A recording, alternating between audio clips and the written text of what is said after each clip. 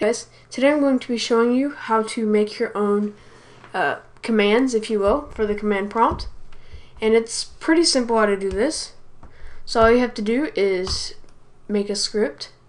And if you don't know batch, there's, it's basically uh, DOS. It's what command line uses.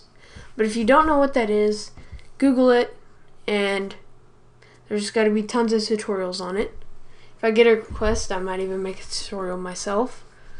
But anyways, just got this quick little useless program that says there's a script that does nothing, which contradicts itself, but whatever. So after you've written your program, go ahead and save it. And also the program I'm using is Notepad++, which is awesome. I did a spotlight on it down in the description. So you can go ahead and click on that and watch the spotlight, find out where to download it. So what you're going to do is save it, and you want to save it as a batch file. So let's name it, this is what we want our command called, useless. Let's name it useless.bat. Alright, so we saved it, and it's called useless.bat. So we can close out of this, and we have it on our desktop, right? So what we're going to do Let's go to C colon backslash Windows System 32. Okay.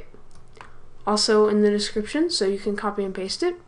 So once you're here in Win uh, System 32, all you have to do is just drag your command straight into System 32 and you will need administrator privileges if I can talk so it's gonna go ahead and move that.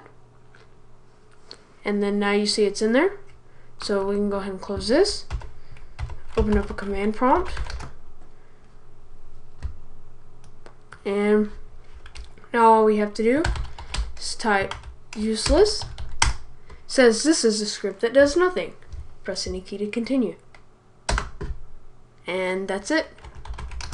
So you can do any scripts. You could have scripts that shut down your computer just by typing S, which probably would be too sensitive.